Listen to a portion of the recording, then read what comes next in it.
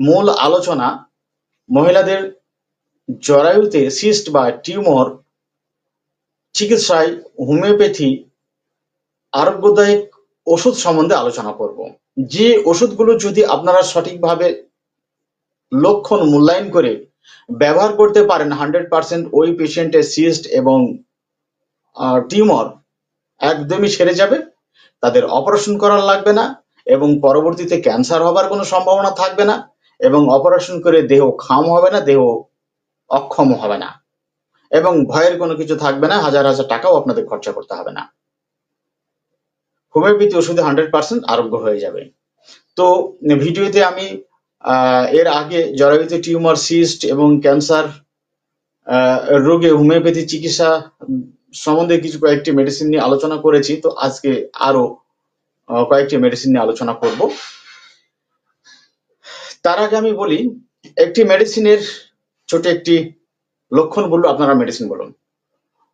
একটি পেশেন্ট যার নির্দিষ্ট সময়ের অনেক আগে অথবা পরে মেনস্ট্রুয়াল ব্লিডিং শুরু হয়। প্রচুর পরিমাণে ব্লিডিং হয়, দীর্ঘদিন স্থায়ী হয় এবং রক্তের পরিমাণও অনেক বেশি। ঋতুস্রাব চলাকালীন তাদের তলপেটে প্রচণ্ড ব্যথা থাকে। প্রচুর ব্যথা থাকে। সুচ ফুটানোর মতো ব্যথা, খোঁচা মারা মতো ব্যথা বা চিরিক মারা মতো ব্যথা বা যন্ত্রণা, এটা তাদের তলপেটে থাকে। এটা ঋতুস্রাব চলাকালীন থাকে। এর সাথে সাথে এই যে তলপেটে ব্যথা, এই তলপেটে ব্যথার সাথে সাথে তাদের কোমরে এবং পিঠের দিকেও একটা ব্যথা থাকে, অনেক ব্যথা থাকে।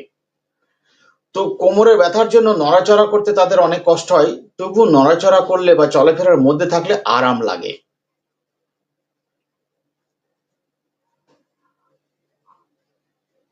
শেষের দিকে কি হয় মানে রক্তস্রাবের যে চরিত্র সেটা সবার জন্য প্রায় একই হতে পারে। যতক্ষণ রক্ত পরিমাণ বেশি থাকবে, অনেক বেশি পরিমাণে স্রাব হবে। যখন কমে আসবে শরীরে রক্তের পরিমাণ, তখন কম কম আসবে। ইভেন কিছু মেডিসিন রয়েছে যাদেরকে চুয়ে চুয়ে সিগ্রেশন হতে থাকে। এগুলো হচ্ছে কমন ব্যাপার একটা।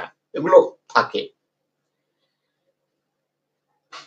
এই রুগীর মধ্যে যদি আপনারা প্রচুর ঘাম, কোমরে বা পিঠে ব্যথা এবং তলপেটে সুচ ফোটানো ব্যথা বা খোঁচা মারা, হুল ফোটানো এরকম ব্যথা, সেই সঙ্গে শরীর অত্যন্ত দুর্বল প্রচণ্ড শীতকাতর, এই রোগ সম্বন্ধে হতাশ, অত্যন্ত খিটখিটে বিটু স্বভাব, অত্যন্ত অসন্তুষ্ট এক একগুঁয়ে।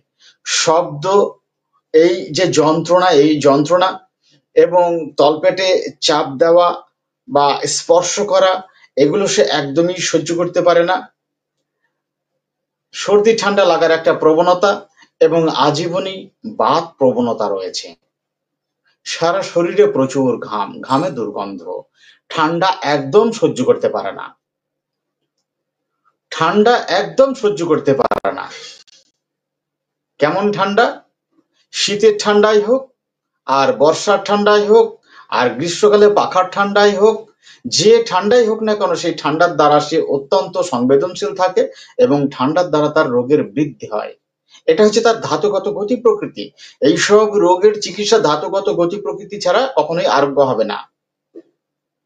ধাতুগত গতি প্রকৃতির উপরে আপনাকে ওষুধ নির্বাচন করতে হবে, নাহলে কোনোদিনই সারবে না।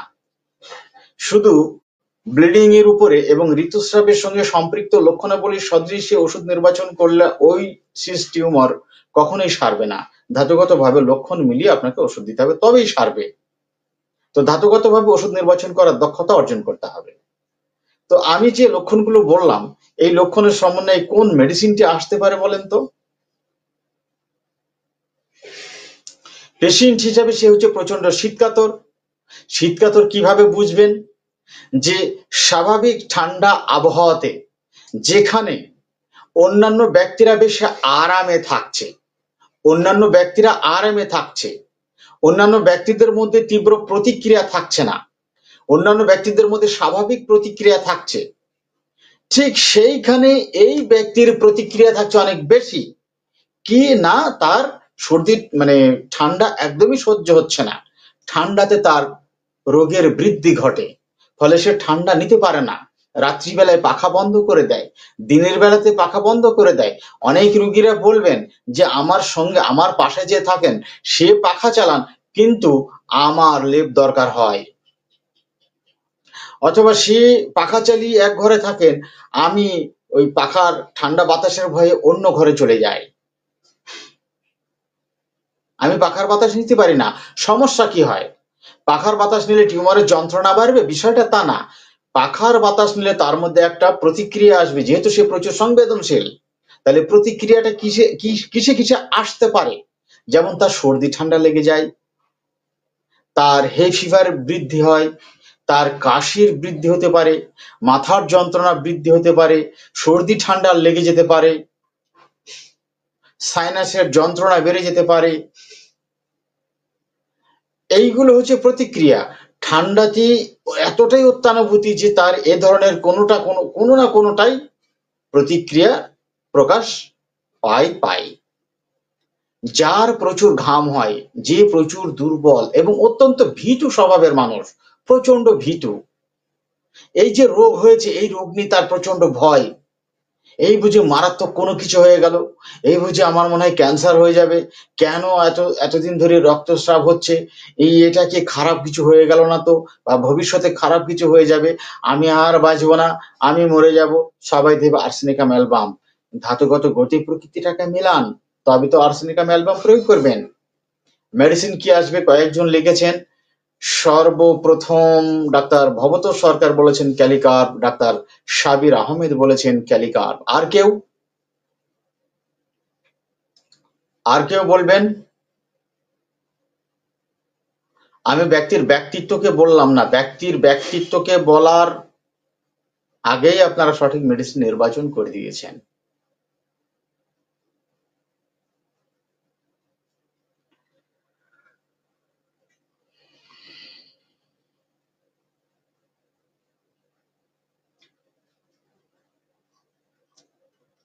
এই ঔষধের একটি বিশেষ বৈশিষ্ট্য রয়েছে।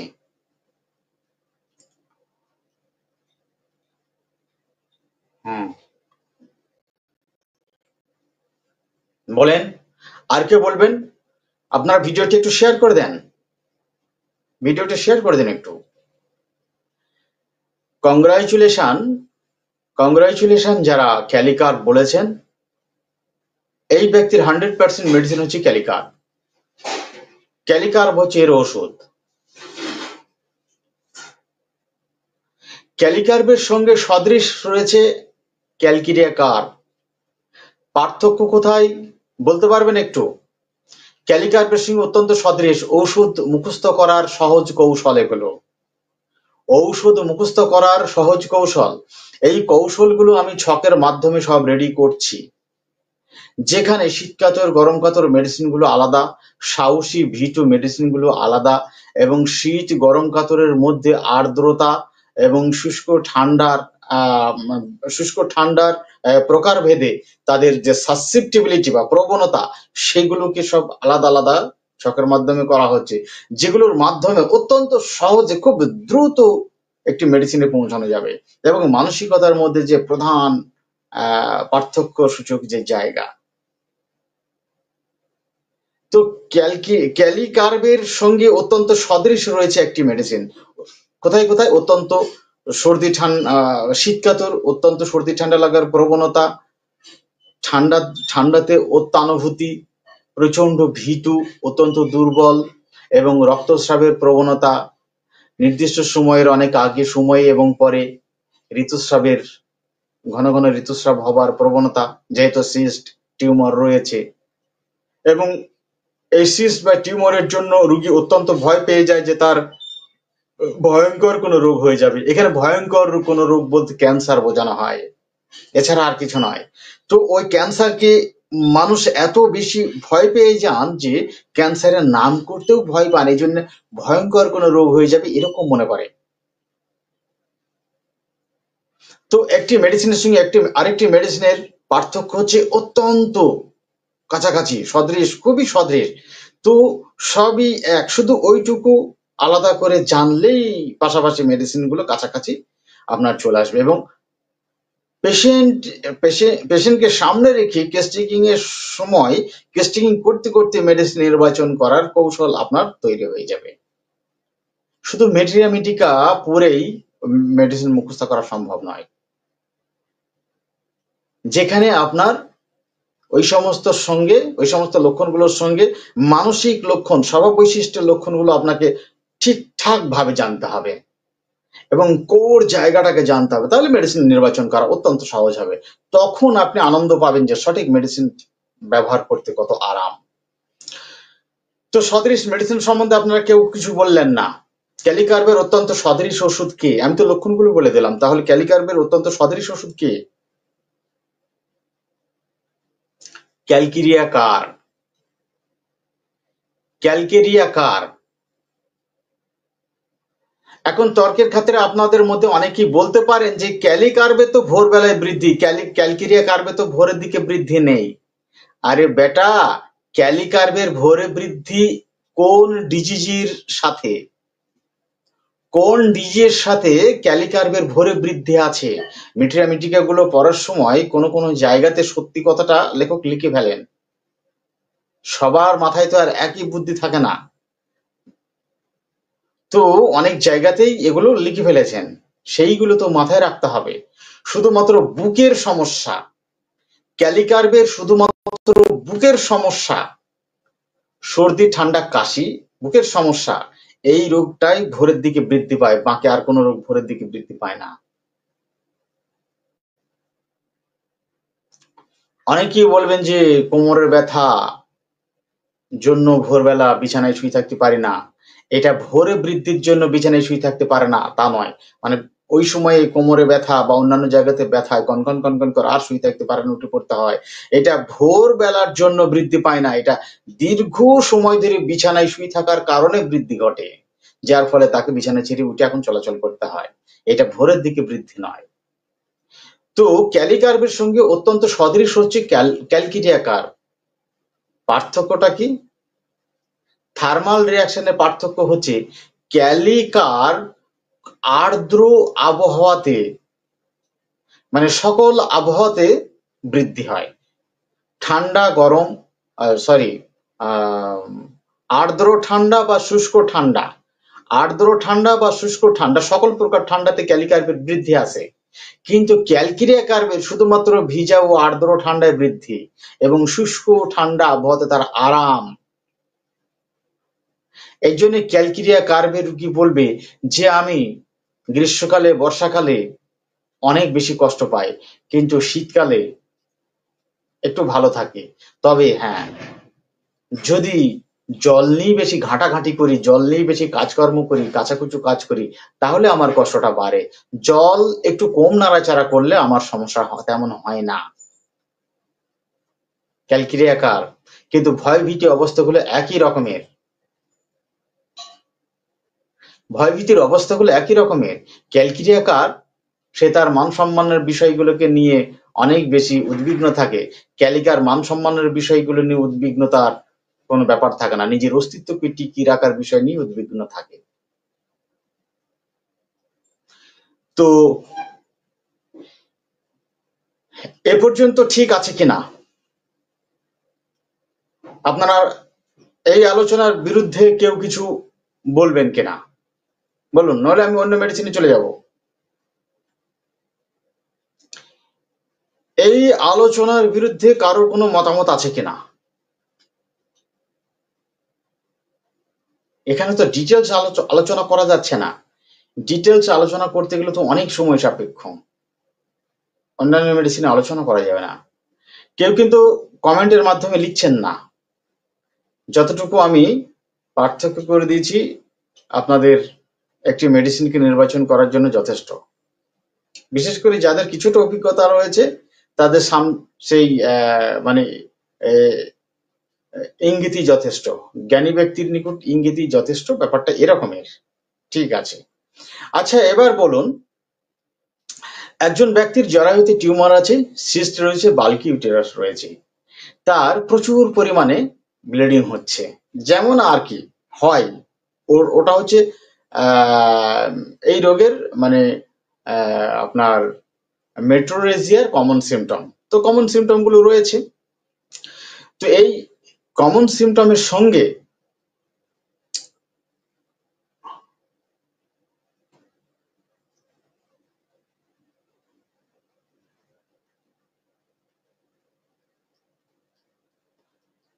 তো নির্দিষ্ট সময়ের পূর্বে অথবা পরে ঋতুস্রাব দেখা দেয়, প্রচুর পরিমাণে রক্তস্রাব হয় প্রচণ্ড বেদনা সহ ঋতুস্রাব, অর্থাৎ বাধক বেদনার সাথে ঋতুস্রাব হয়। বাধক বেদনার সঙ্গে ঋতুস্রাব হয়। ঋতুস্রাবের পূর্বে ঘন ঘন প্রস্রাবের বেগ আসে। ঋতুস্রাবের পূর্বে ঘন ঘন মানে যখন ঋতুস্রাব শুরু হবে, মাসিকি টাইমটা আসবে, ঠিক তার আগে এদের ঘন ঘন প্রস্রাবের বেগ আসে। তো প্রথম এক দুবার বুঝতে পারো না যে হঠাৎ করে এরকম ঘন ঘন প্রস- প্রস্রাবের বেগ কেন আসছে? ঘন ঘন মূত্রবেগ কেন আসছে? সে অবাক হয়ে যায়। কয়েকবার মেনস্ট্রুয়াল সাইকেল পার করার পরে সে বুঝতে পারে যে আমার প্রত্যেকবার সাইকেল আসার পূর্বেই ঘন ঘন মূত্রবেগ চলে আসছে। এটা এর সাথে সম্পর্ক কয়েকটি সাইকেল যাওয়ার পরই বুঝতে পারে। তো এখানে এর চেয়ে বেশি আর কোনো কিছু লক্ষণ পাওয়া যাচ্ছে না। রুগী হিসাবে হচ্ছে সে প্রচণ্ড গরম কাতর। রুগী হচ্ছে গরম কাতর প্রচণ্ড গরম কাতর, সারা শরীরে প্রচণ্ড ঘাম হয়, প্রচুর ঘাম হয় সারা শরীরে। এবং গরম সে মোটেই সহ্য করতে পারে না। খোলা বাতাস পছন্দ, খোলা হাওয়া, খোলা বাতাস, মুক্ত বাতাস পছন্দ। জানালা, দরজা বদ্ধ ঘরে থাকতে পারে না। মেজাজ হিসাবে এই রুগী হচ্ছে প্রচণ্ড খিটখিটে মেজাজ প্রচণ্ড রাগী। প্রচণ্ড নিষ্ঠুর প্রচণ্ড খিটখিটে প্রচণ্ড বদরাগী, গালিগালাজ করে। পরিবারের লোকজনদের সঙ্গে অত্যন্ত অসৎ আচরণ করে, অত্যন্ত খারাপ আচরণ করে। গালিগালাজ, খুব বাজে ব্যবহার, এগুলো সে সব করে। এগুলোর সাথে তার আরেকটি স্বভাব আছে, ইয়ারকি, আড্ডা, ঠাট্টা, তামাশা, এগুলো করা। ইয়ারকি আড্ডা, ঠাট্টা, তামাশা এগুলো সব করে। তো যে মানুষটার প্রচণ্ড রাগ প্রচণ্ড খিটখিটে প্রচণ্ড নিষ্ঠুর প্রচণ্ড বাজে ব্যবহার করা স্বভাব, তো তার মেজাজে সবসময় একটা উগ্রতা থাকে, রুক্ষ মেজাজ থাকে। তো এই রুক্ষ, উগ্র মেজাজের সাথে সাথে আবার তার ঠাট্টা, তামাশা, মকিং করার স্বভাবও রয়েছে। মকিং করার স্বভাবও রয়েছে। এই মকিং করার সময় সে অনেক বেশি কথা বলে। তো এই যে খারাপ আচরণ যখন করে, খারাপ আচরণ করে ফেলার পর তার মনটা খারাপ হয়ে যায়। মনটা খারাপ হয়ে যায় এবং মন খারাপের জন্য সে তখন খুব বিষণ্ণ হয়ে পড়ে এবং অস্থির হয়ে পড়ে এবং তখন নড়াচড়া করে, পায়চারি করে, চলাফেরা করে। এই রুগী বিশ্রামে তার সকল কষ্ট বৃদ্ধি। বিশ্রামে থাকলে সে ক্লান্ত হয়ে পড়ে, বিশ্রামে থাকলে দুর্বল হয়ে পড়ে, অবসন্ন হয়ে পড়ে, আর বিছানা চেয়ে উঠতে ইচ্ছা করে না। বিশ্রামে আছে মানে শরীর দুর্বল, আর কাজ করার ক্ষমতা নেই, কিচ্ছু ভালো লাগে না, চলতে ইচ্ছা করছে না। প্রচণ্ড গরম, অবসন্ন, কিছু ভালো লাগে না, সবসময় বাতাস দরকার, প্রচুর পিপাসা। প্রচুর জলপান করে। কিন্তু জলপান করলে আবার ঠান্ডা জলপান করতে ভয় পায়, এত গরম। অনুভব হচ্ছে পাখার বাতাস ভালো লাগছে, ঠান্ডা ভালো লাগছে। মনে হচ্ছে যেন ফ্রিজের একটু জল পেলে খুব ভালো হয়, কিন্তু ফ্রিজের জল সে খাবে না, খেলেই তার ঠান্ডা লেগে যাবে। গরমে থেকে এসে, ঠান্ডায় এসে সঙ্গে সঙ্গে সে জল খেতে চাইবে না, কেননা খেলেই তার শুষ্ক কাশি শুরু হয়ে যাবে, ঠান্ডা লেগে যাবে, মাথায় যন্ত্রণা হবে। মানে ঠান্ডাতে তার অত্যন্ত সংবেদনশীলতা রয়েছে। সঙ্গে অত্যন্ত গরম কাতর। সঙ্গে অত্যন্ত বদমেজাজ, রাগী, খিটখিটি, গালিগালাজ করে, পরিবারের লোকজনের সঙ্গে খুবই খারাপ আচরণ করে। এবং সে বিশ্রামে থাকলে ক্লান্ত বোধ করে, পরিশ্রান্ত বোধ করে এবং অবসন্ন বোধ করে। কিন্তু যতক্ষণ চলাফেরার মধ্যে থাকবে, ততক্ষণ সে ভালো বোধ করে। তার জন্য সে চলাফেরার মধ্যে থাকতেই বেশি পছন্দ করে। কোনো না কোনো কিছু করার মধ্যে দিয়ে সে ভালো বোধ করে। তার সর্দি ঠান্ডা লাগার সাথে সাথে হাঁচি, কাশি, সর্দি, মাথা মাথা ব্যথা থাকে। এইগুলোর সাথে সাথে তার গ্ল্যান্ডের ফোলার একটা স্বভাব রয়েছে। গ্ল্যান্ডের ফোলার, গ্ল্যান্ডের আক্রমণের একটা স্বভাব রয়েছে। বিশেষ করে টনসিল গ্ল্যান্ড টনসিল গ্ল্যান্ডের ব্যথা প্যারোটেড গ্ল্যান্ডের ব্যথা, বগলের যে গ্ল্যান্ডগুলো রয়েছে এগুলোর ব্যথা, অথবা লিম্ফ্যাটিক যে সার্ভাইকাল লিম্ফ্যাটিক গ্ল্যান্ডগুলো রয়েছে সেইগুলো স্থায়ীভাবে ফুলে থাকা অথবা মাঝে মাঝে ফোলা ব্যথা, এইগুলো হবার একটা প্রবণতা এদের মধ্যে রয়েছে। এই রোগী বাহ্যিকভাবে ঠান্ডা পছন্দ করে। বাহ্যিকভাবে অত্যন্ত গরম কাতর। কিন্তু ভিতরে সে ঠান্ডা পছন্দ করে না, গরমই পছন্দ করে। কেন? না, ঠান্ডা খেলেই ঠান্ডা লেগে যায়। ঠান্ডার প্রতি তার এত ভয়। বলেন, এই মেডিসিনটি কে?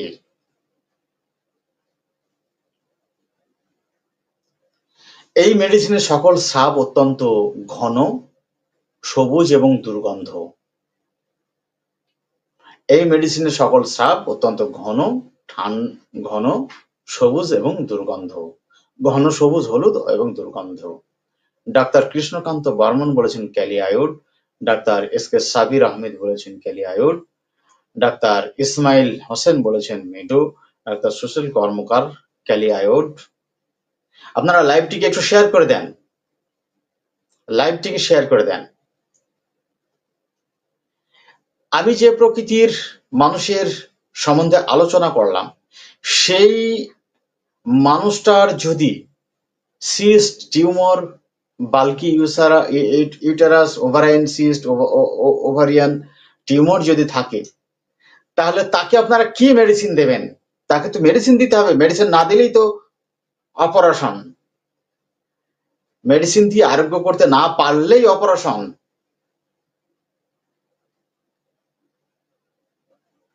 যার জন্য আপনাদেরকে পারতেই হবে, আপনাদেরকে শিখতেই হবে।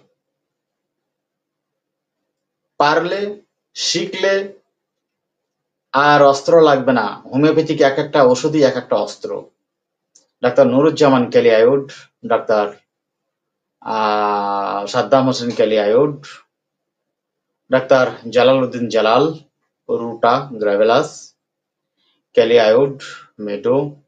রোটা এত বেশি খারাপ আচরণ করে সে হচ্ছে নিজেই একটি অত্যন্ত সেন্সিটিভ পারসন সেই রুটা ব্যক্তি কি এত রুক্ষ মিজাজ, এত খারাপ মিজাজ, এত বাজে আচরণ?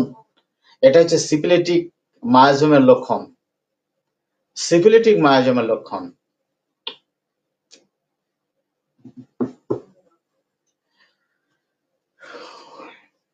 তো এখানে ভয়ের কোনো গল্প দিয়েছি? একটা জায়গা তো আমি ভয়ের কোনো, ভয়ের সম্বন্ধে কোনো আলোচনা করেছি? ভয়ের সম্বন্ধে কোনো কথা বলে নাই। এখানে যেটা বলা হয়েছে যে, রোগ অবস্থার সাথে সে অত্যন্ত বদরাগী, অত্যন্ত খিটখিটি, অত্যন্ত গালিগালাজ করে, অত্যন্ত বাজে ব্যবহার করে। পরিবারের সদস্যর সঙ্গে তাদের, তার কোনো সৎ ব্যবহার নেই। এত খারাপ আচরণ করে। এই খারাপ আচরণগুলোর সাথে তার রোগ প্রবণতা কি না সর্দি ঠান্ডা লাগার প্রবণতা, সর্দি ঠান্ডা লাগার প্রবণতার সাথে গ্ল্যান্ডের দোষ। সর্দি ঠান্ডা লাগলেই তার গ্ল্যান্ডের সমস্যা হয়, তার বুকে শ্লেষা বসে, তার সাইনাসে যন্ত্রণা হয়, মাথায় যন্ত্রণা করে, নাকের মধ্যে যন্ত্রণা করে। এইসব নিশি পুরাতন রোগে ভুগতে থাকে ভুগতে থাকে। রোগী হিসেবে প্রচণ্ড উগ্র প্রচণ্ড বদরাগী। এখানে ভয়ের একটা কথা বলে নে, তাহলে মেডোরিনামটা কেমন করে হলো? শিখতে হবে। এখনও শিখতে হবে। শিখতে হবে। শিখলে আপনারা পারবেন, সবাই পারবেন। আমি দেখতে পাচ্ছি অধিকাংশ চিকিৎসক যারা ভালো করে পড়াশোনা করেন, তারা সঠিক জবাব দিতে সক্ষম হচ্ছেন। Doctor Al Aktarul Islam calcarea carb? Impossible calcarea কার্ভের এত হিম্মত, এত সাহস আছে? সে একজন মর্যাদাপূর্ণ মানুষ। সে হচ্ছে ডিগনিফাইড পারসন তো একজন ডিগনিফাইড পারসন যদি এরকম বাজে আচরণ করে, খারাপ আচরণ করে, তাকে কেউ সম্মান করবে? এই জন্য ভুল ভালো জায়গায় যদি আপনারা পড়াশোনা করেন ভুল ভালো জায়গায় যদি আপনারা শিক্ষা নেন। তাহলে এ জীবনে হোমিওপ্যাথি চিকিৎসা করার সৌভাগ্য জুটবে না। হোমিওপ্যাথি বাক্স থেকে ওষুধ দিলে হোমিওপ্যাথি হয় না। সাধারণ দর্শক যারা আমার সঙ্গে রয়েছেন, তারা ভালো করে বুঝে নেন যে হোমিওপ্যাথি বাক্স থেকে ওষুধ দিলেই হোমিওপ্যাথি হয় না। হ্যানিম্যানের সঠিক নিয়ম অনুসরণ করে হোমিওপ্যাথি বাক্স থেকে ওষুধ দিলে তবেই হোমিওপ্যাথি হয়। না হলে তারা সব কেমোথেরাপি হয়ে যাবে। এই জন্য ভালো করে শিখতে হবে। ভালো জায়গা থেকে শিখলে আপনি ভালোভাবে শিখে যেতে পারবেন নিশ্চিত। তো কংগ্রাচুলেশন যারা ক্যালিয়াইড বলেছেন হান্ড্রেড পার্সেন্ট এই patient Kali iod Kali iod হচ্ছে অত্যন্ত গরম কাতর একজন ব্যক্তি। ক্যালিয়াইড হচ্ছে অত্যন্ত গরম কাতর একজন ব্যক্তি। তো গরম কাতরে যতগুলো ব্যক্তি রয়েছে, গরম কাতর যতগুলো ব্যক্তি রয়েছে, তাদের মধ্যে নেট্রামিওর বাদে, নেট্রামিওর নেট্রাম সাল্প এইগুলো বাদে ক্যালকিরিয়া সাল্প, নেট্রামিওর, নেট্রাম সাল্প এইগুলো বাদে প্রায় ম্যাক্সিমাম গরম কাতুরের রুগীগুলো হচ্ছে অত্যন্ত বদরাগী, অত্যন্ত খিটখিটি, অত্যন্ত বদমেজাজি, অত্যন্ত রাগী। ম্যাক্সিমাম আমাকে আর একটু দেখতে হবে, দেখলে পরে বোঝা যাবে। তার মধ্যে আপনার পালসেটিলা আছে ও শান্ত মানুষ। কয়েকটি মেডিসিন আছে শান্ত। গরম কাতুরি মেডিসিনের মধ্যে কয়েকটি মেডিসিন রয়েছে শান্ত। আর কিছু মেডিসিন রয়েছে প্রচণ্ড রাগী, বদরাগী, খিটখিটে। সেই বদরাগী মানুষগুলোকে আপনাকে জানতে হবে এবং শান্ত মানুষগুলোকে জানতে হবে, গরম কাতুরে ব্যক্তিদের মধ্যে। তাদের মধ্যে বিশেষ বৈশিষ্ট্যগুলোকে আলাদা করে নিলেই মেডিসিন চলে আসবে। এখানে জ্বর হয়েছে, টিউমার হয়েছে, সিস্ট হয়েছে, আর অমনি হ্যাঁ আলতাফ স্যার বলেছেন ক্যালিয়াইড দিতে, ক্যালিকার্প দিতে ক্যালকিরিয়া কার্প দিতে, দিয়ে দিলাম। বিষয়টা তা নয়।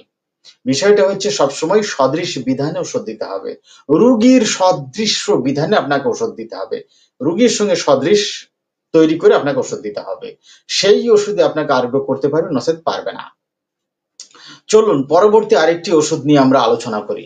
জরায়ুতে টিউমার হয়েছে, সিস্ট হয়েছে বালকিউটারাস রয়েছে, প্রচুর পরিমাণে ব্লিডিং হচ্ছে। প্রথম দিকে হয়তো সে আসেনি।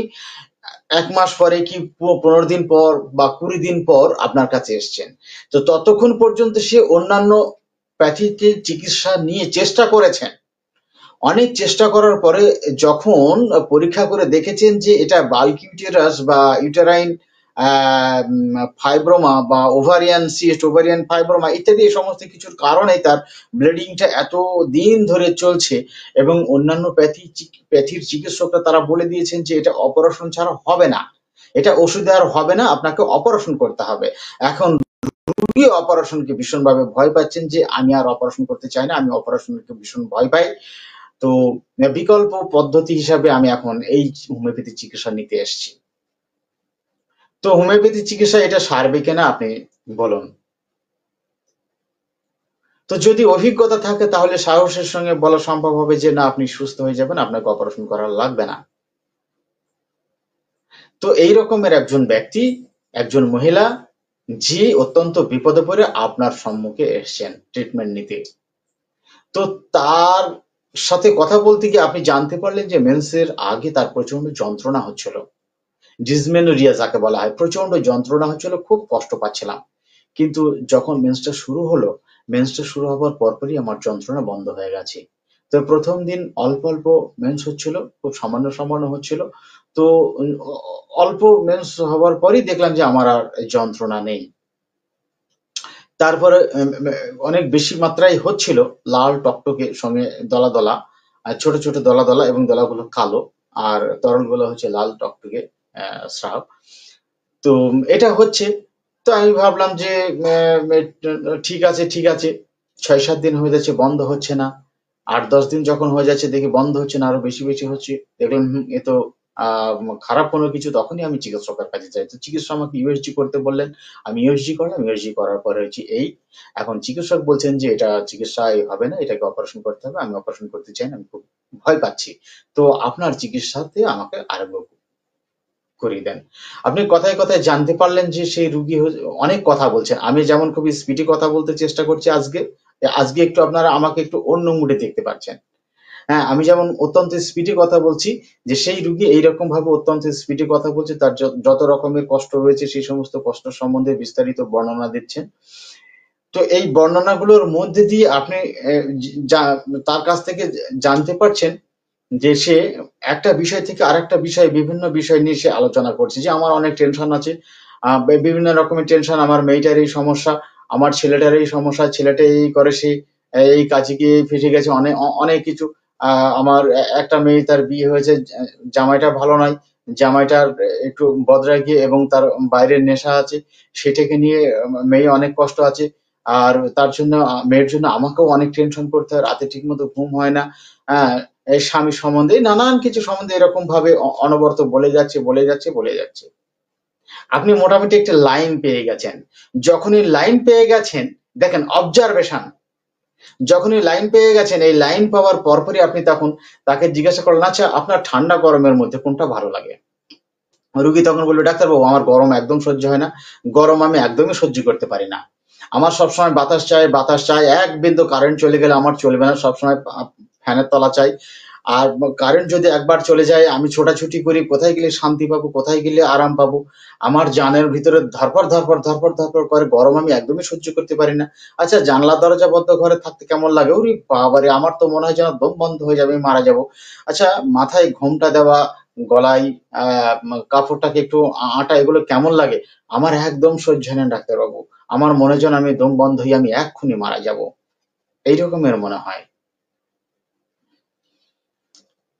সেই সঙ্গে কথায় কথায় আরও জানতে পারলেন যে তার সে অনেক বেশি ঈর্ষা কাতর পরশ্রী পরশ্রী কাতর সে সন্দেহবাদী।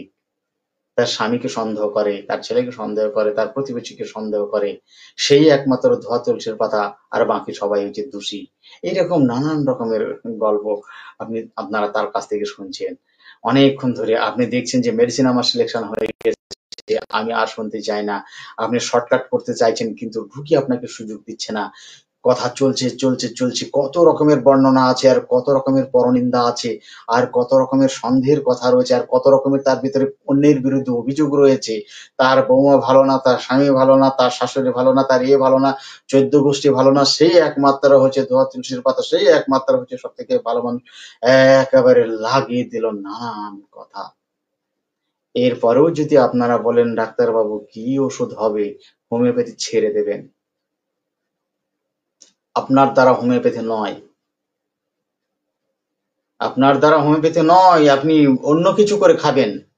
হোমিওপ্যাথি করতে এসে, হোমিওপ্যাথি আপনার ওই বেকারত্ব ঘোচানোর পথ নয়। মনে রাখবেন, হোমিওপ্যাথি বেকারত্ব ঘোচানোর পথ নয়। হোমিওপ্যাথি হচ্ছে দুর্দশাগ্রস্ত মানুষের নিষ্কৃতির পথ। যেখানে আপনার বিলাসিতা, অবহেলা, চালাকি, চতুরতা, গাফিলতির কোনো দাম নেই। যা রয়েছে, প্রতিটা মুহূর্ত মূল্যায়ন করতে হবে এবং প্রতিটা মুহূর্ত আপনাকে কর্মঠ থাকতে হবে। এটা হচ্ছে হোমিওপ্যাথি কংগ্রাচুলেশন আপনারা সবাই শীষ বলতে সক্ষম হয়েছেন। কি করে বুঝলেন জানি না। প্রত্যেকে সঠিক মেডিসিন বলেছেন। প্রত্যেকে কেন সঠিক বলেছেন? মেট্রিয়ামেটিকায় এই মানসিক লক্ষণগুলো অত্যন্ত স্পষ্টভাবে লিপিবদ্ধ করা রয়েছে, যার জন্য আপনারা পূর্ব থেকে এই মেডিসিনের চরিত্র সম্বন্ধে অবগত রয়েছেন এবং সঠিক মেডিসিনে পৌঁছাতে আপনাদের এক মিনিটও সময় লাগেনি। তো এই ল্যাকিসিস মেডিসিনের চরিত্রগত এই বিশেষ বৈশিষ্ট্যর জন্য যদি আপনাদের এক মিনিট সময় না লাগে নির্বাচন করতে, তাহলে বাকি মেডিসিনগুলোর মানসিক লক্ষণ বা চরিত্রগত বৈশিষ্ট্য সম্বন্ধে যদি আপনাদের খুব ভালোভাবে এরকম জানা থাকে, কেমন লাগবে বলুন তো? অথচ সেই বিশেষ বৈশিষ্ট্যপূর্ণ মানসিক লক্ষণের চরিত্রগত বৈশিষ্ট্য সম্বন্ধে খুব কম লেখা রয়েছে মেট্রিয়ামেটিকাতে যার জন্য হাতড়ি বেড়াতে হয় অন্ধকারে। অন্ধকার ঘরের মধ্যে যখন লাইট চলে যায়, যখন লাইট চলে যায়, অর্থাৎ জ্ঞানের অভাব যখন চলে আসে লাইট বা আলো আলো হচ্ছে জ্ঞান। এই জ্ঞানের আলো যখন চলে যায়, তখন হাত হয়। দেওয়ালে হাত রাতে হয় যে রাস্তাটা কোথায়? কোন রাস্তা দিয়ে বার হবে? এদিকে না ওদিকে? ওদিকে কোন দিকে? হ্যাঁ হাত রাতে হয়। বুঝতে পেরেছেন? এটা ঘুমে হোমিওপ্যাথি নয়। তো একটা কথা আপনারা বলুন তো? লেখে শিশির, এই যে বাচলতা এবং এই যে loquacity which change from one subject to another এই এটা হচ্ছে একটা লক্ষণ রুব্রিক হিসাবে যা রেপার্টারিতে লিপিবদ্ধ রয়েছে। এই বাচালতার লক্ষণটি অসুস্থ হবার পর সৃষ্টি হয়েছে না জন্মগতভাবে সৃষ্টি হয়েছে? আপনাদের কাছ থেকেই আজকে জিনিসটা ক্লিয়ার হোক। একটু ঝটপট বলবেন, তাড়াতাড়ি বলবেন। আপনারা চিকিৎসক, আপনাদের এই আলোচনা শুনতে ভালো লাগবে। কিন্তু যারা জনগণ রয়েছেন, সাধারণ মানুষ রয়েছেন, তাদের আমাদের এই আলোচনা শুনতে ভালো লাগবে না। এই জন্য আপনারা তাড়াতাড়ি একটু রেসপন্স করবেন।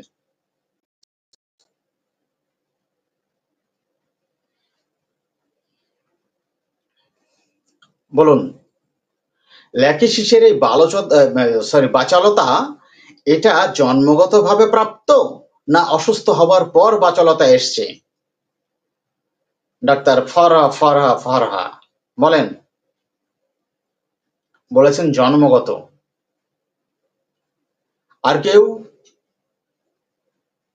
আপনারা লাইভটিকে একটু শেয়ার করে দেন। আসসালামু আলাইকুম। কেমন আছেন স্যার? আলহামদুলিল্লাহ ভালো রয়েছি। আশা করি আপনিও ভালো আছেন। আর কেউ সারা দেন? আর কেউ বলছেন না কেন? আপনারা কি বুঝতে পারছেন না নাকি আমি বুঝতে পারছি না?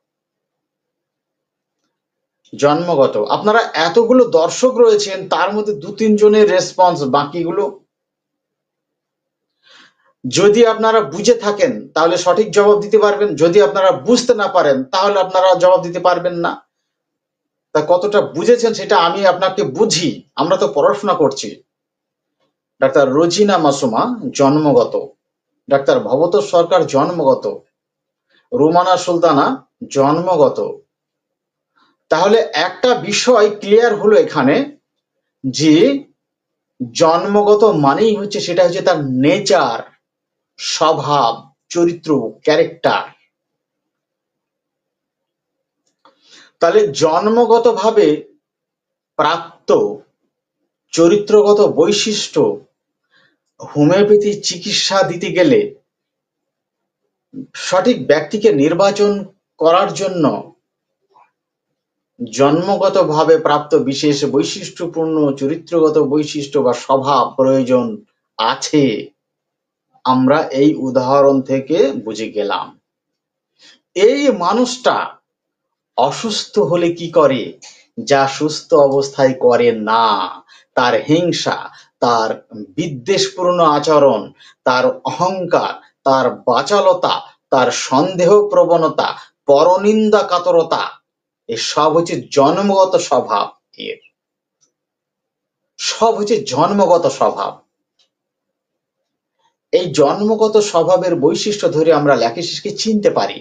কিন্তু অসুস্থ হলে এর বিশেষ, এই চরিত্রের বিশেষ কিছু বৈশিষ্ট্য ফুটে ওঠে, যেগুলো আমাদেরকে ভাবতে সাহায্য করে। ব্যক্তির ল্যাকিসিস নয় তো?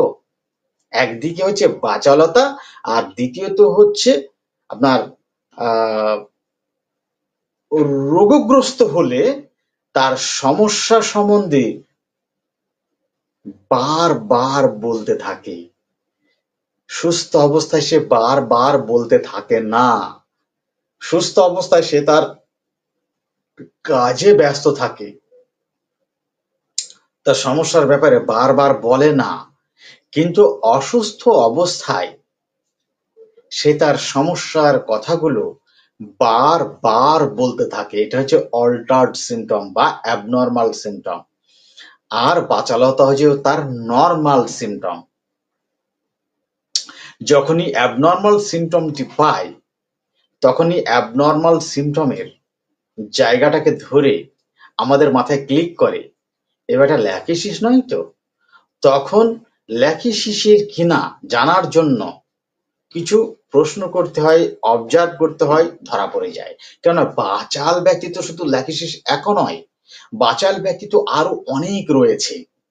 অনেক ব্যক্তি রয়েছে বাচাল। ফসফরাস রয়েছে, স্ট্র্যামোনিয়াম রয়েছে হাইসিয়ামাস রয়েছে মেডোরিনাম রয়েছে, আপনার অ্যামব্রাগ্রিসিয়া রয়েছে অনেক মেডিসিন রয়েছে, বা রাস্টক্স রয়েছে, অনেক বাচাল রাস্টক্স তো এই যে এত বেশি বাচাল ব্যক্তি, এই ব্যাচিল বাচাল ব্যাক, শুধু বাচালতাকে ধরে তো তো আমি ল্যাকিচিসকে স্ট্যাম্প মারতে পারব না। তাহলে এমন কিছু বিশেষ বৈশিষ্ট্য রয়েছে যেগুলোকে ধরে আমাদের স্ট্যাম্প মারবে, এবং সে বলবে আমি হান্ড্রেড পার্সেন্ট ল্যাকেচিস পৃথিবীর কোনো ব্যক্তির কাটার ক্ষমতা থাকবে না। প্রত্যেকটা ব্যক্তির মধ্যে এরকম বিশেষ বৈশিষ্ট্যপূর্ণ চরিত্র রয়েছে।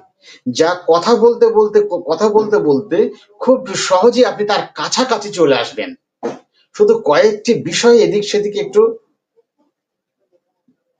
জিজ্ঞাসা করলে বা একটু বোঝার চেষ্টা করলেই আপনি সিমিলি সিমিলিমামে পৌঁছে যাবেন। কাজটা যে খুব কঠিন, ঠিক এমন নয়। কঠিন হচ্ছে সঠিক শিক্ষা গ্রহণ করা। সঠিক শিক্ষাটা পাওয়া এটাই হচ্ছে কঠিন। চলুন। পরের ওষুধ আলোচনা করি।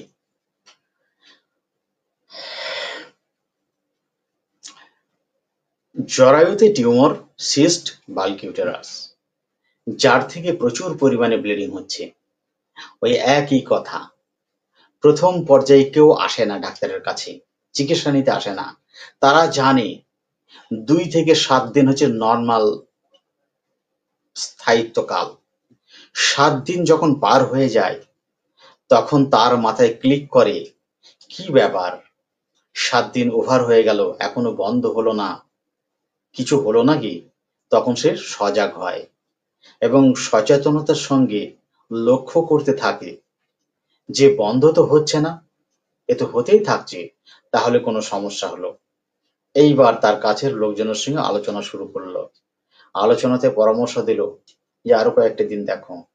দশ দিন পার হয়ে গেল, এগারো দিন পার হয়ে গেল, আর অপেক্ষা করা যাচ্ছে না। এবার সে চিকিৎসকের স্মরণাপন্ন। চিকিৎসক বুঝে সুঝে বুঝতে পেরেছেন যে নিশ্চয় ওভারিতে অথবা ইউটারাসে কিছু একটা সমস্যা হয়েছে। তখন সে অ্যাডভাইস দিল ইউএসজি করতে হবে। ইউএসজি করার পরে ফলাফল আসলো বাল্ক ইউটারাস ইউটারাইন অথবা ওভারিয়ান সিস্ট অথবা ফাইব্রোমা রয়েছে। এই জন্যই তার এই ব্লিডিংটা হচ্ছে। এখন এটার একমাত্র চিকিৎসা হচ্ছে অপারেশন এছাড়া আর উপায় নেই। আপনাকে অপারেশন করতে হবে। রুগী এই কথা শোনার পরেই খুব দুশ্চিন্তাগ্রস্ত যে সে অপারেশন করবে না, সে এটাকে চিকিৎসা মাধ্যমে সারানো যায় কিনা দেখবে। ওই চিকিৎসককেই আরও, আবারও জিজ্ঞাসা করবে যে, ডাক্তারবাবু অপারেশন ছাড়া কি এটা আরোগ্য হবে না? না আরোগ্য হবে না, এটাকে অপারেশনই করতে হবে। তা আমি তো অপারেশন করতে ভীষণ ভয় পাচ্ছি ডাক্তারবাবু। না অপারেশন ছাড়া আর কোনো উপায় নেই, আপনাকে অপারেশনই করতে হবে। তো এইবার যথারীতি ব্লিডিং এর যে মানে প্রথম দিকে একরকম, শেষের দিকে একরকম, রক্তহীনতা এসে গেলে আর একরকম সেরকমই চলছে গতানুগতিক, এগুলো হচ্ছে কমন সিমটম সব। তো এইগুলোর মধ্যে, রোগীর মধ্যে একটা জিনিস আপনারা জানতে পারলেন যে যখন সে বিশ্রামে থাকছে বা শুয়ে থাকছে, তখন তার ব্লিডিংটা হচ্ছে না। কিন্তু যখনই সে চলাফেরা করছে অথবা কাজকর্ম করছে, তখনই তার ব্লিডিংটা হচ্ছে। এই যে মডালিটি অত্যন্ত গুরুত্বপূর্ণ লক্ষণ, আমি বারবার এগুলো বলি। বারবার এগুলো, এই সমস্ত মডালিটি আপনাকে সিমিলিমামের দিকে ধাবিত করবে। এগুলোকে আন্ডারলাইন দিতে হবে। যে যতক্ষণ আমি শুয়ে থাকছি, তখন আমি কিছু দেখছি না ডাক্তারবাবু। শুয়ে থাকছি, বসে থাকছি, কিছু দেখছি না। কিন্তু যখনই আমি চলাফেরা করছি হাঁটা চলা করছি বা আমার তো কাজকর্ম রয়েছে, সেগুলো যখনই একটু করছি, তখন এই থেমে থেমে মাঝে মাঝে দেখছি হুক হুক করে বার হচ্ছে। আচ্ছা রং কেমন? কখনো লাল, কখনো কালো। আচ্ছা আচ্ছা। আর একটু দুর্গন্ধ আছে ডাক্তারবাবু। এগুলো হচ্ছে প্রকৃতি। সব সময় যেগুলো থাকবে, তার কোনো মানে নেই। নাও থাকতে পারে। এগুলো যেহেতু ওর ক্যারেক্টার ডিসচার্জের ক্যারেক্টার সেটা চেঞ্জ হতে পারে কোনো না কোনো কারণে। কিন্তু মেন্টালি যে ক্যারেক্টার চেঞ্জ হবে না। সেটা একই থাকবে। দেখেন না কীভাবে নিজেকে আত্মপ্রকাশ করছে। আচ্ছা। হুম। আর কি? আর হচ্ছে যে ডাক্তারবাবু, আমার তলপেটে খুব ব্যথা করছে। তলপেটে মাঝে মাঝে খুব ব্যথা হচ্ছে। এবং সেই ব্যথা এমনই হচ্ছে না, সেই ব্যথার সাথে আমার বারবার পায়খানা প্রস্রাবের বেগ আসছে। এবং পায়খানা প্রস্রাবের বেগ আসার ফলে আমি পায়খানায় যাচ্ছি, কিন্তু পায়খানা সবসময় হচ্ছে না। প্রস্রাবও সবসময় ঝেড়ে হচ্ছে না। প্রস্রাবের বেগ একটা থেকেই যাচ্ছে। আর শুধু আমার মনে হচ্ছে, ভিতর থেকে সব নারী ভুঁড়ি কি বার হয়ে আসবে নাকি? ভিতর থেকে নারী ভুঁড়ি বার হয়ে আসবে নাকি? ডাক্তারবাবু, আমার এই পা দুটো খুব যন্ত্রণা হচ্ছে। কনকন কনকন করছে একেবারে। টিপলে না খুব আরাম লাগছে। টিপলে ভালো লাগছে। আর আর কি করলে ভালো লাগছে? ডাক্তারবাবু। গরম স্যাঁকটাকে আমি দিই দেখে নিই। কারণ হচ্ছে আমি, আমার না গরম এমনি সহ্য হয় না। প্রচুর গরম লাগে আমার। আমি গরম একদম সহ্য করতে পারি না।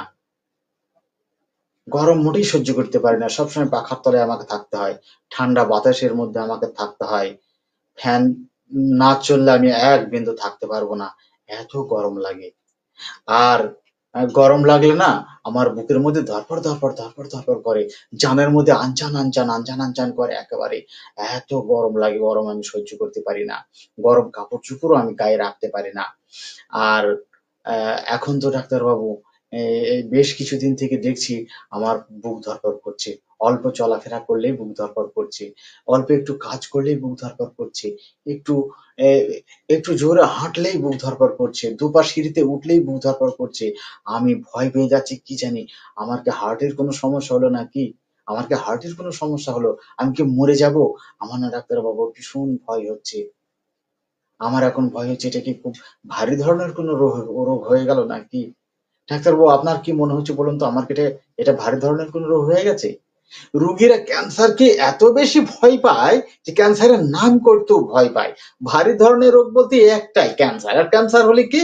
মারা যাবে মৃত্যু। অর্থাৎ মৃত্যু ভয় সে অস্থির হয়ে পড়েছে। যার জন্য সে এরকম ভাবে এক্সপ্রেস করছে এখন। সে প্রচণ্ড ভীত মানুষ। এই সরি প্রচণ্ড রাগী খিটখিটে মানুষ। প্রচণ্ড রাগী প্রচণ্ড বদরাগী প্রচণ্ড ঝগড়াটে প্রচণ্ড খিটখিটে এবং অভিশাপ দেয়, ঝগড়া করে, গালিগালাজ করে উল্টো পাল্টা ব্যবহার করে। এই রোগের জন্য সে বিষণ্ন বিষাদ, নিরানন্দ গভীর ভাবে নিরানন্দ। তাকে যে আপনি একটু পরামর্শ দেবেন, না, ভালো হয়ে যাবে, দুশ্চিন্তা করার দরকার নেই, তার রাগ আরও বেড়ে যাবে। সান্ত্বনায় তার কষ্ট আরও বেশি বেড়ে যায়। প্রচুর পিপাসা, ঠান্ডা জল পানের প্রচুর পিপাসা সে ঠান্ডা জলে প্রত্যেক দিন স্নান করতে পছন্দ পছন্দ করে। ঠান্ডা জলে স্নান করা পছন্দ। গরম জল একদম সহ্য করতে পারে না। যেহেতু প্রচণ্ড গরম কাতর, গরমটা সহ্য করতে পারে না।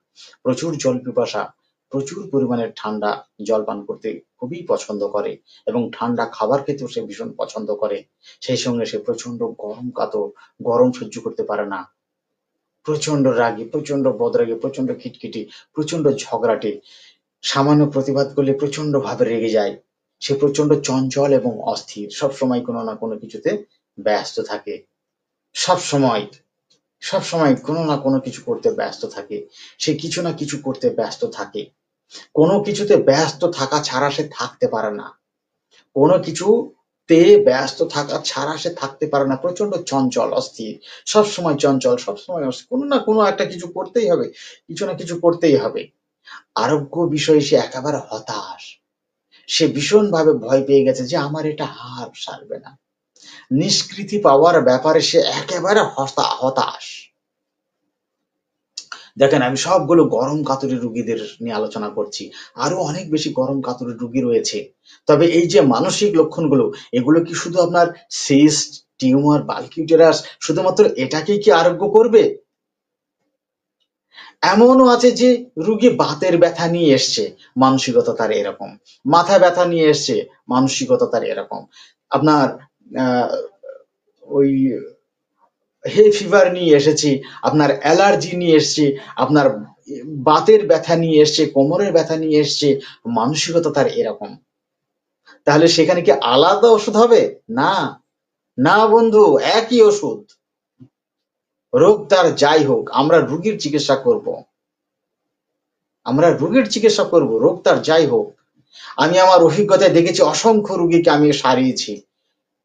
একেবারে অসংখ্য রুগীকে এই জন্য এত কনফিডেন্সের সঙ্গে বলা সম্ভব।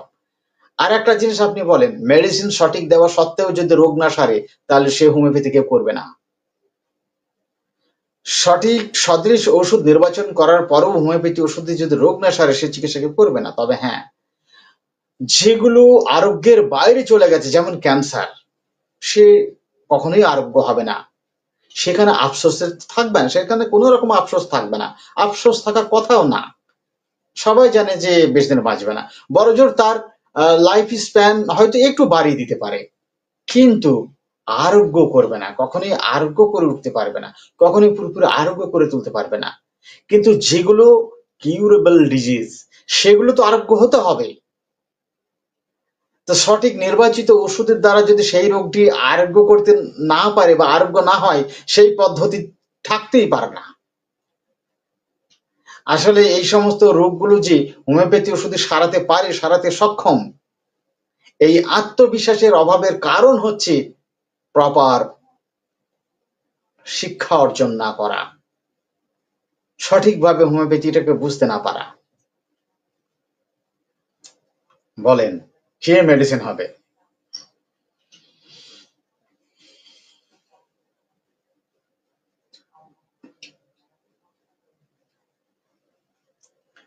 কি মেডিসিন হবে বলেন।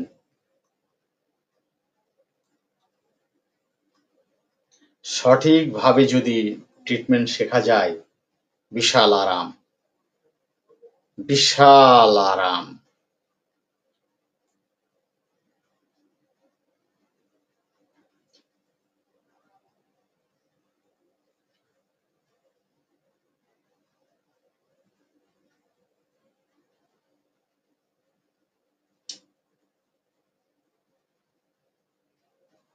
বলেন কি বলবেন, কি ওষুধ? আমি দ্রুত বললাম বলে, ও পেশেন্ট কিন্তু দ্রুত বলেননি। তাহলে তো আমি বাচালের কথা বলতাম যে সে প্রচুর বাচাল, সে প্রচুর কথা বলছি, দ্রুত কথা বলছি, প্রসঙ্গ থেকে প্রসঙ্গ পরিবর্তন করে কথা বলছি, এগুলো তো আমি বলতাম। এইগুলো পেশেন্টের মধ্যে নেই। আসলে আমি দ্রুততার সঙ্গে বলেছি।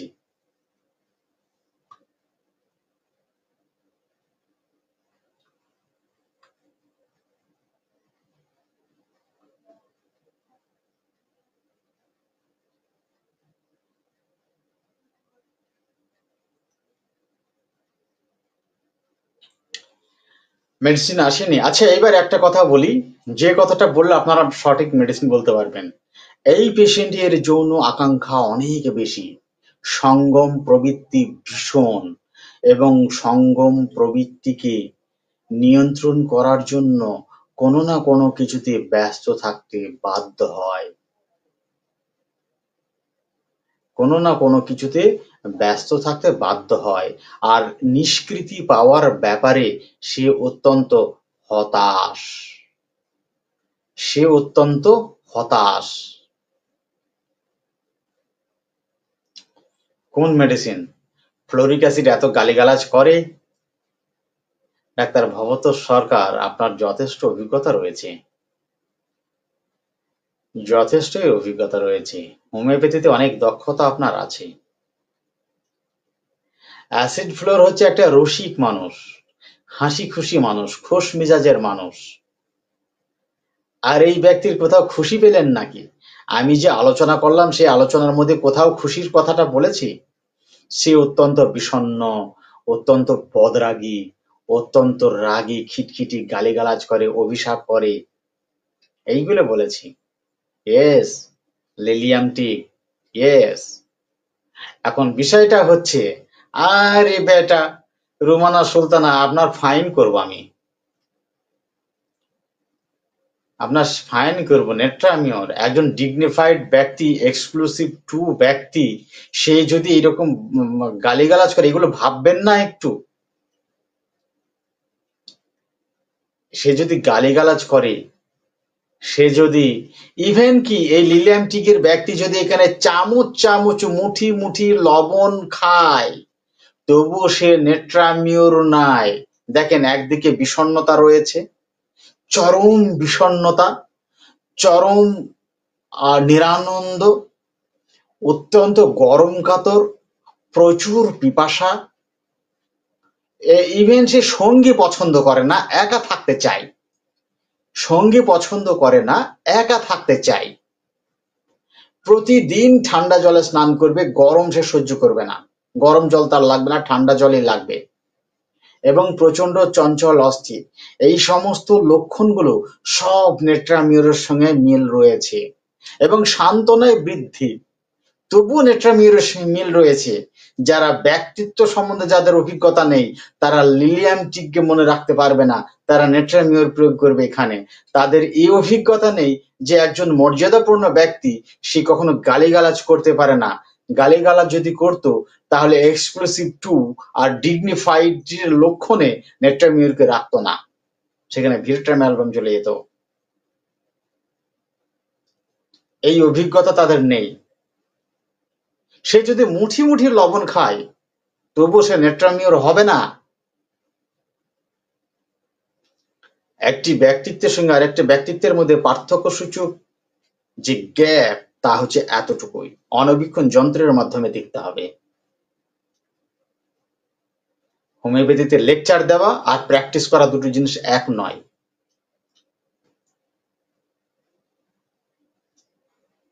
লেকচার দেওয়ার প্র্যাকটিস প্র্যাকটিক্যালি। আমি আজকে যে আলোচনা করলাম সবই হচ্ছে ক্লিনিক্যাল। Clinical lecture.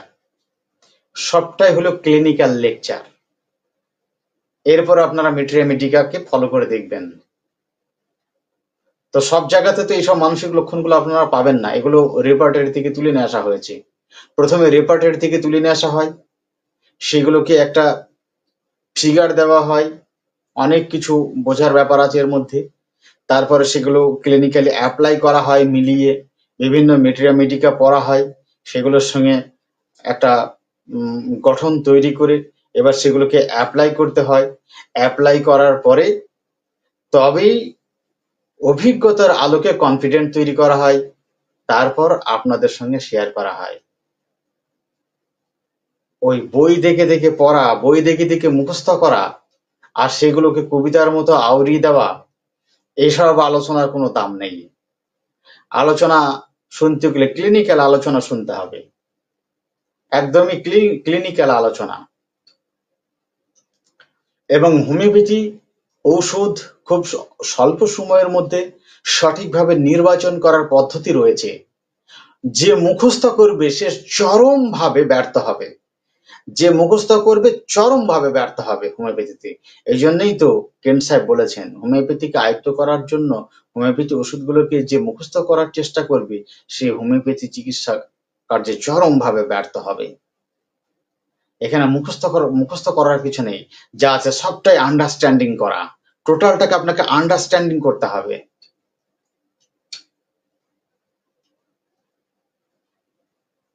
ওই পেশেন্টের মেডিসিন হচ্ছে লিলিয়াম টিক তাহলে Lilium tig Secale cor Lachesis Natrum mur আপনারা এগুলোকে ডিফার করবেন, আলাদা করবেন।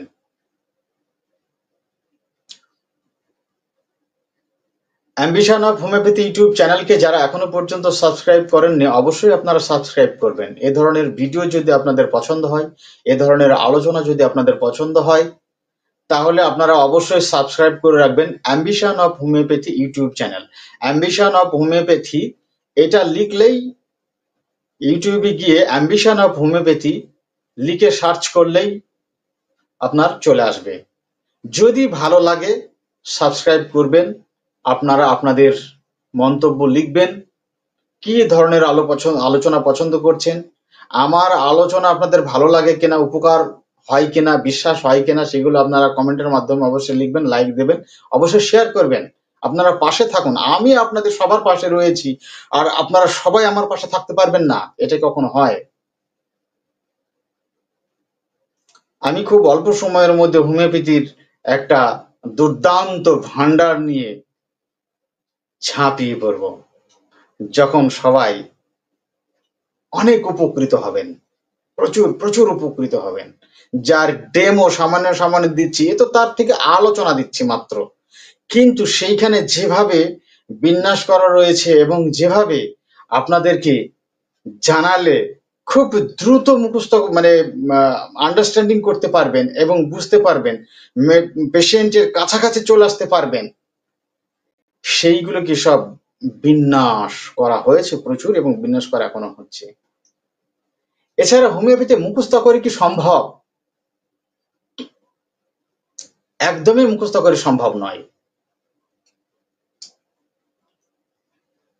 তো আমার আলোচনা কেমন লাগল আপনারা জানাবেন। আপনারা আপনাদের কমেন্টের মাধ্যমে একটু জানান।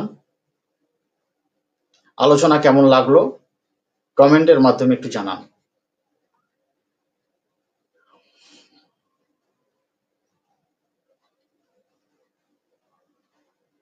কমেন্টের মাধ্যমে একটু জানান। প্রত্যেকটা লাইভে এ ধরনের কোনো না কোনো বিষয় নিয়ে আলোচনা করব, অত্যন্ত অ্যাক্টিভলি আলোচনা করব, অত্যন্ত অ্যাক্টিভলি এবং খুবই ফলপ্রসূ আলোচনা করব, যা আপনাদের সবার অত্যন্ত কাজে লাগবে।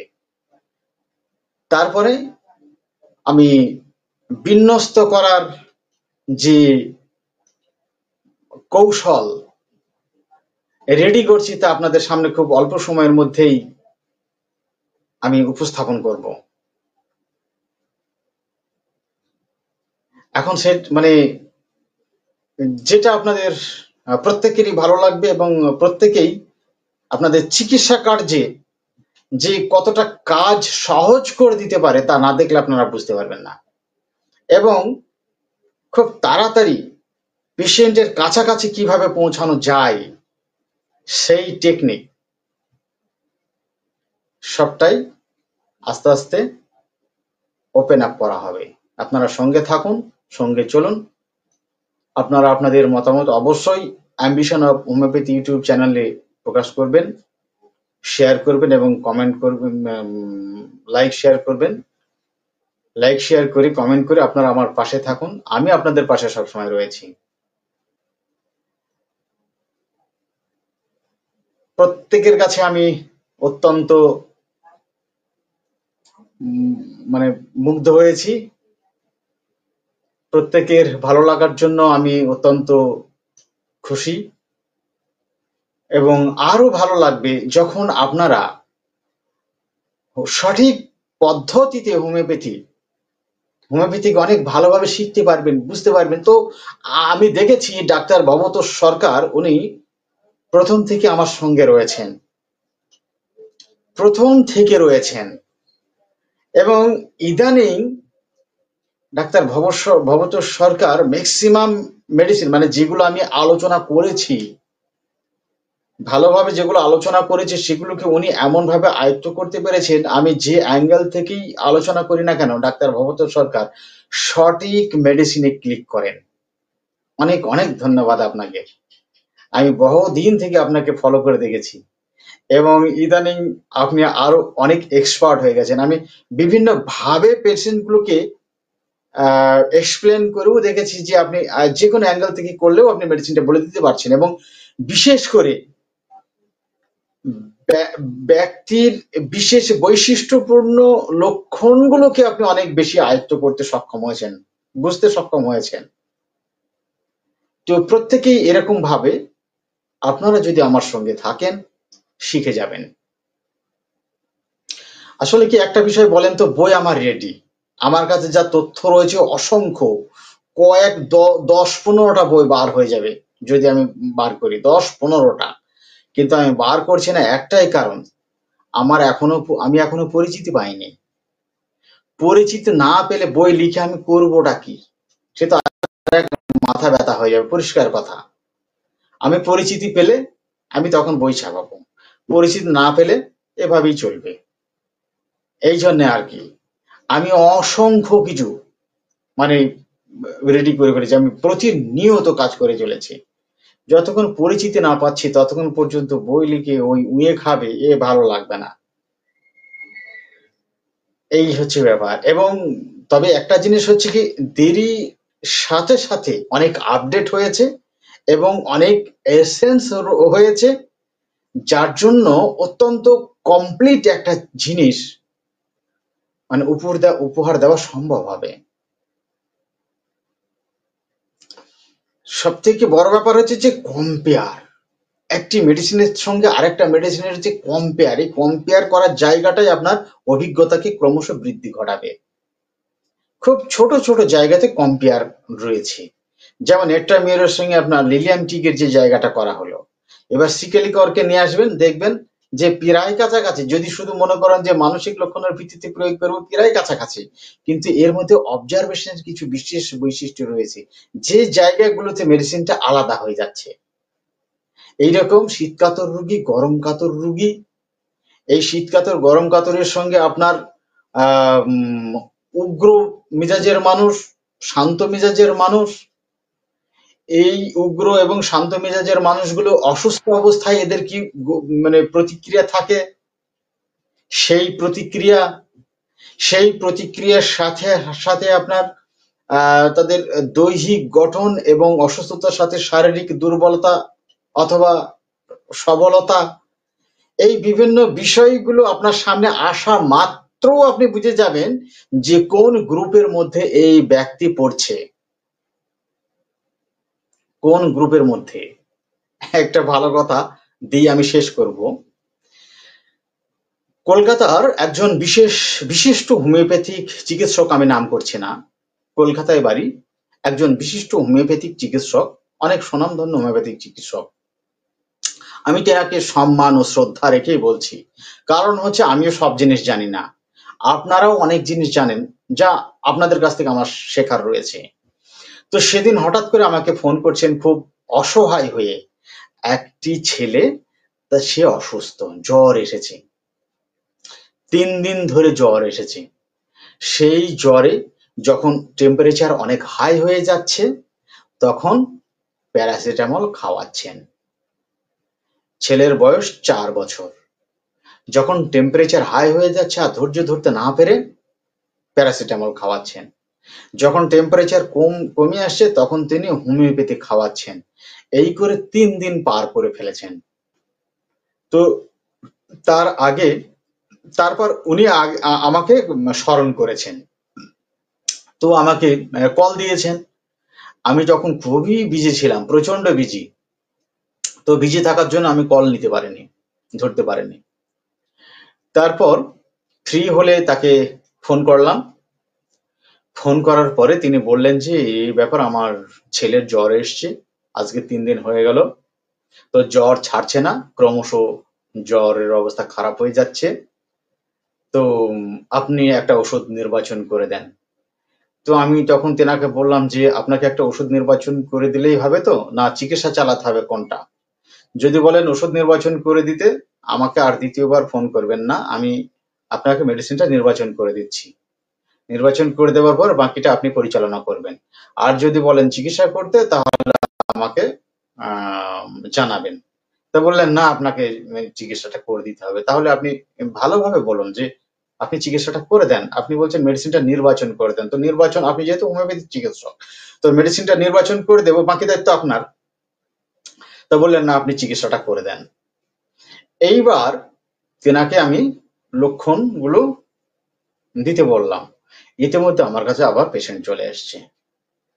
তো এই পেশেন্ট বাদ দিয়ে যদি আমি ফোনে কথা বলি, তখন চেম্বারের পেশেন্ট আমার সঙ্গে, আমার আমার প্রতি খারাপ মনোভাব করবেন। আমি একটা বাজে লোক। সামনে অসুস্থ রুগী রেখে আমি ফোনে মানে মজা করছি, গল্প করছি। বাজে ধারণা নিয়ে আসবেন। ফলে আমি তিনাকে বললাম যে পেশেন্ট এসছে, আমি পেশেন্ট দেখছি, পরে কথা বলব। এই করতে করতে অনেকটা সময় পার হয়ে গেছে। তারপরে তারা আর ধৈর্য ধরতে না পেরে অ্যালোপ্যাথি চিকিৎসকের কাছে চলে গেছেন। খোঁজ পেয়েছে যে বাইরে থেকে একজন অ্যালোপ্যাথি চিকিৎসক আসছেন। সেই চিকিৎসকের চেম্বারে গিয়ে নাম লেগেছে পেশেন্টের। ইতিমধ্যে আমি যখন ফ্রি হয়েছে আমি ফোন দিলাম। ফোন দেওয়ার পরে তিনি তখন বললেন যে, আমি একটু রাস্তায় আছি। তো আমি যখন বললাম যে, ঠিক আছে, আপনি একটা জায়গাতে দাঁড়ান। দাঁড়িয়ে আমাকে শিগগিরই আগে পেশেন্টের সিমটমগুলো বলুন। নাহলে এরপরে পেশেন্ট চলে আসলে আমি আর আপনার সঙ্গে কথা বলতে পারব না। তখন উনি ওখান থেকে বার হয়ে এসে আমাকে পেশেন্টের ইয়েগুলো মানে সিমটমগুলো দিলেন। মেডিসিন আপনাদের বলতে হবে। সিমটম হচ্ছে পেশেন্টের জ্বর যখন বেশি হচ্ছে, তখন জ্বর বেড়ে মানে অনেক বেশি হচ্ছে। এই অনেক বেশি হলেই সে বিছানায় গিয়ে শুয়ে পড়ছে। আর যখনই কমছে, সাথে সাথে সে উঠে খেলাধুলো করতে শুরু করে দিচ্ছে। এই কথা শোনার পরে আমি জিজ্ঞাসা করলাম, ওর শীত করছে না গরম লাগছে? তা বলছে, না, গরম লাগছে না, এই শীত করছে না। গরমই লাগছে, পাখার বাতাস ও পছন্দ করছে এবং শোবার পর সাথে সাথে বলছে যে, পাখা চালিয়ে দাও, পাখা চালিয়ে দাও। সবসময় পাখা চাচ্ছে। আচ্ছা পিপাসা কেমন? পিপাসা নেই। পিপাসা নেই মানে কি জল একদমই খাচ্ছে না? কখনো সখনো কিছু খেতে দিলে একটু জল খাচ্ছে, তাছাড়া জল খাচ্ছে না। আচ্ছা আচ্ছা। জিভ ঠোঁট, মুখ, এগুলো কি শুকনো আছে? না, রস আছে। আচ্ছা ঠিক আছে। তো ও স্নান করতে চাচ্ছে কেমন? বলল, না ডাক্তার বাবু স্নান করতে চাচ্ছে না। গায়ে জল দিতেই দিচ্ছে না। কান্নাকাটি করছে। মাথা ধুয়ে দিলে একটু ভালো বোধ করছে। মাথা ধুয়ে দিলে কিছু বলছে না, কিন্তু গায়ে জল দিতেই দিচ্ছে না। আচ্ছা গায়ে জল দিতে দিচ্ছে না মানে ওকে শীত করছে? আমি আবার কনফার্ম হওয়ার জন্য বললাম। বলল, না, শীত করছে না, ওর গরম লাগছে, ও পাখা চালাতেই বলছে, সব সময় পাখা চালাতে বলছে। যদি কারেন্ট চলে যাচ্ছি, কখনো সখনো খুব চিৎকার, চেঁচামেচি করছে, বাতাস করার জন্য আমরা এসে তাড়াতাড়ি করে আবার ওকে হাত পাখি দিয়ে বাতাস করছি। কিন্তু স্নানও করতে চাইছে না, ঘাম হচ্ছে না, ঘাম হচ্ছে না। কিছু খেতে চাচ্ছে? না, অল্প একটু খাবার খেয়ে আর খেতে চাইছে না। মেজাজ কেমন আছে? মেজাজ এমনিতে শান্ত। বিরক্ত করলে তখন বিরক্ত বা খিটখিটে দেখাচ্ছে। পায়খানা প্রস্রাব, পায়খানা প্রস্রাবে কোনো সমস্যা নেই, সব ঠিক আছে। মেজাজ কেমন লাগছে? না, মেজাজ তো এমনিতে ঠিক আছে, কিন্তু বিরক্ত করলে তখন বিরক্ত দেখাচ্ছে, তাছাড়া আর কিছু নাই। ব্যাস। তো আমি বললাম যে, এই মেডিসিনের থার্টি পোটেন্সি তিন মাত্রা খাইয়ে দেন। আধ ঘণ্টা পর পর তিন মাত্রা খাইয়ে দেন, তারপর আর কিছু করতে হবে না। আপনি কাল সকালে আমাকে জানাবেন। সকালে উঠে সে এদিকে মেসেজ লিখেছে, ডাক্তারবাবু রাতেই জ্বর ছেড়ে গেছে। এখন আর কোনো সমস্যা নেই, ও ঘুমাচ্ছে। তো আমি বললাম, ঠিক আছে, সকালের দিকে টেম্পারেচার এমনি কম থাকে। তো বলল যে, না, আমি মেপেছি, মেপে দেখেছি যে নর্মাল টেম্পারেচার আমি ঠিক আছে, আর একটু বেলা হোক। আপনি দশটা, এগারোটার সময় আমাকে মেসেজ করে জানাবেন ফোন করবেন না। ফোন করলে সবসময় ফোন ধরা সম্ভব হয় না, কিন্তু মেসেজ করলে মানে এক পলকে মেসেজটাকে দেখা সম্ভব। তারপরে আমি আমার সুবিধা মতো আমি কল ব্যাক করব। কিন্তু সবসময় কল দেবেন ফোন দেবেন, এ ধরা আমার পক্ষে সম্ভব নয়। কারণ সবসময় তো ব্যস্ত থাকি। রোগের সঙ্গে ব্যস্ত, লেখালেখির সঙ্গে ব্যস্ত, পড়াশোনার সঙ্গে ব্যস্ত। ফালতু সময় নষ্ট করার তো সময় নেই। বলুন, কি মেডিসিন দিয়েছিলাম?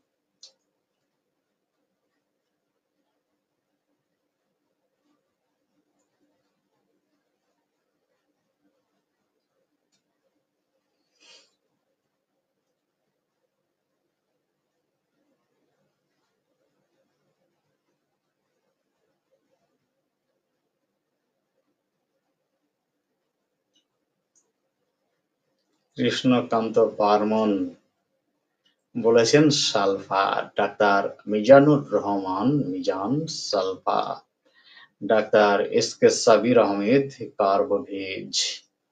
ওটা কি লিখছে? স্যার, আপনার সাথে কথা বলা আমার সাথে ভাগ্যের ব্যাপার। কেন? কেন ভাই এ কথা কেন বলছেন? ভাগ্যের ব্যাপার কেন ভাই? কি হয়েছে? বলেন তো ব্যাপারটা। বুঝতে পারছি না। আর কেউ বলবেন? ফারহা ফারহা, এখানে পিপাসায় নেই, তাও ফসফরাস। পিপাসায় নেই। MD Mahbub hyos doctor Sushil Karmakar hyos আচ্ছা আমি বলে দিচ্ছি। কংগ্রাচুলেশন যারা, তার আগে আমি বলি,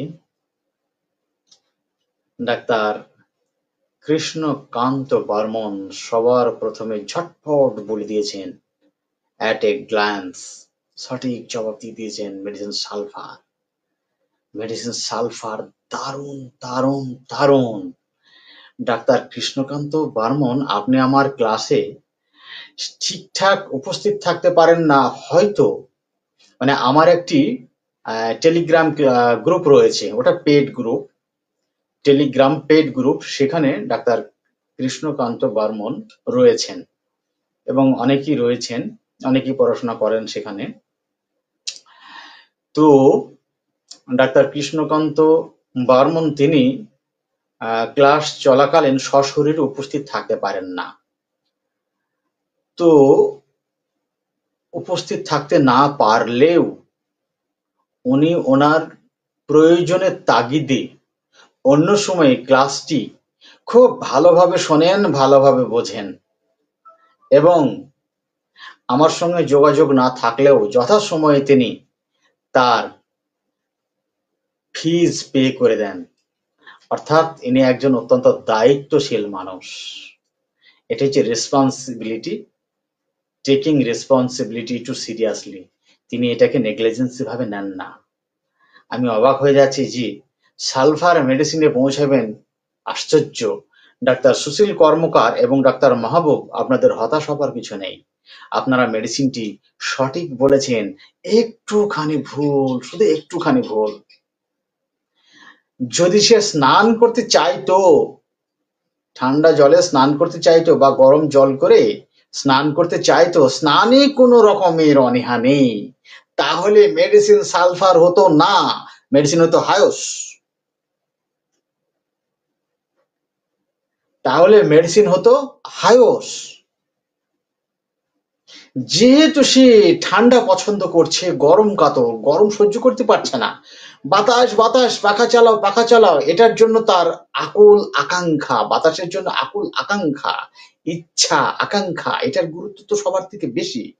তো আকু, বাতাস পাওয়ার জন্য আকুল আকাঙ্ক্ষা, অথচ স্নান করতে গেলে তার অনীহা, স্নান পছন্দ করছে না। এই ব্যক্তি যদি স্নান পছন্দ করত, তাহলে তার মেডিসিন হতো হাইসেমাস তাহলে জায়গাটা ক্লিয়ার হয়ে গেল।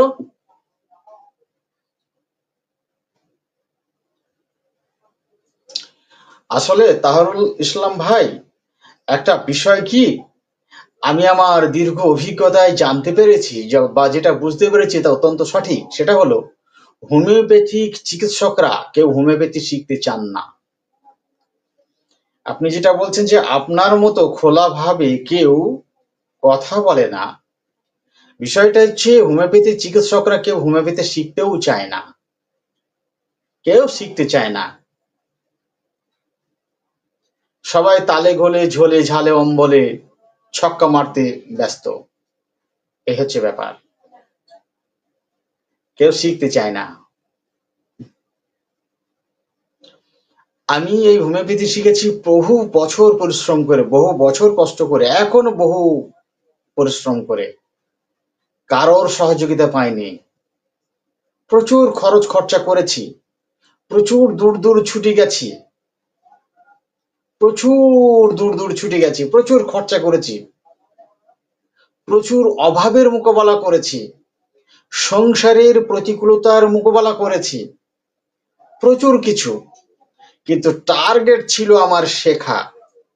আজকে যে টাকা আমি খরচা করছি এই টাকা আমার একটা পেশেন্টের টাকা। আমি যদি শিখতে পারি, আমি আমার যদি যোগ্যতা তৈরি করতে পারি, মাসে মাসে যে একটা পে করতে হচ্ছে, যে টাকাটা পে করতে হচ্ছে, সেই একটা পে যে মূল্য, তা হচ্ছে একটা পেশেন্ট দেখার মূল্য। আর এক মাসে কি একটা রুগী দেখবে? সঠিকভাবে যদি শিক্ষা অর্জন করতে পারে, এক মাসে কতগুলো রুগী দেখবে? কতগুলো রুগী? এমন হতে পারে যে আমি যে ইনকাম করি, তার থেকে অনেক বেশি ইনকাম আপনারা কেউ করতে পারবেন। আমার কাছ থেকে শিখে আপনারা আমার থেকে অনেক বেশি উপার্জন করতে পারবেন। তো উনত্রিশ দিন যত পেশেন্ট দেখবেন, সব পেশেন্টের টাকা তার। তিরিশ দিনের দিন যতগুলো পেশেন্ট দেখবেন, তার মধ্যে একটা পেশেন্টের টাকা যদি আমাকে দেন, সামান্য। তাও লাগবে না। এটাই কেউ করতে চায় না, আর যার জন্য হোমিওপ্যাথি কেউ শিখতে পারে না। যার জন্য হোমিওপ্যাথি শিখতে পারে না। ডাক্তার তাহরুল ইসলাম, আবেগ দিয়ে নয়। আবেগকে মানে বুদ্ধি দিয়ে আবেগকে কন্ট্রোল করতে হবে। আবেগ যদি বুদ্ধিকে কন্ট্রোল করে, তাহলে সমস্যা। বুদ্ধি দিয়ে আবেগকে কন্ট্রোল করতে হবে। আপনার যদি প্রকৃতপক্ষে শেখার ইচ্ছা থাকে, আপনি আমার সঙ্গে যোগাযোগ করবেন মেসেঞ্জারে আমি আপনাকে আমার টেলিগ্রাম গ্রুপে অ্যাড করে নেব। মাসে ইন্ডিয়ানদের জন্য এখন তিনশো টাকা করে নেওয়া হচ্ছে, বাংলাদেশিদের জন্য সাড়ে চারশো টাকা করে নেওয়া হচ্ছে।